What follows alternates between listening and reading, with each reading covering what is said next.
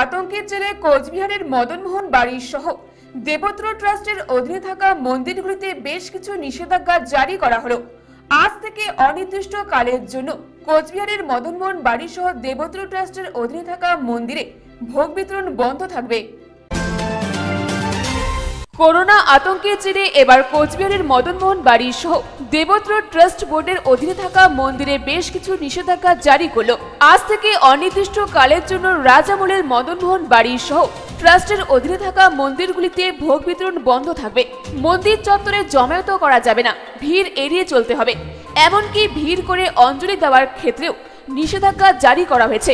বড়বাবু জয়ন্ত চক্রবর্তী বলেন মানুষকে সচেতন রাখতে ও কোনোভাবে যাতে করোনা ভাইরাস আক্রান্তের আশঙ্কা না বাড়ে, সেজন্য এই উদ্যোগ নেওয়া হয়েছে।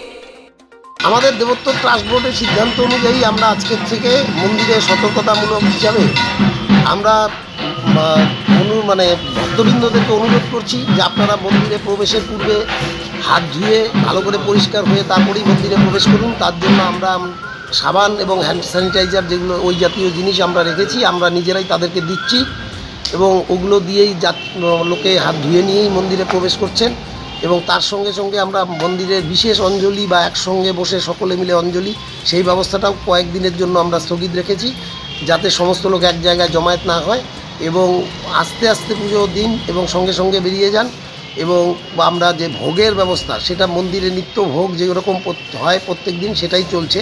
বিশেষ ভোগের ব্যবস্থা এবং ভোগ প্রসাদ বিতরণ, সেটাও আমরা আপাতত স্থগিত রেখেছি এবং যেই সমস্ত জায়গায় এসে আমাদের ভক্তরা হাত দিচ্ছেন বা যেখান দিয়ে যাচ্ছেন, যেই সমস্ত মন্দিরের জায়গায় হাত দিচ্ছেন, বারান্দা ঠারান্দা আমরা ভালোভাবে পরিষ্কার করার ব্যবস্থা করছি।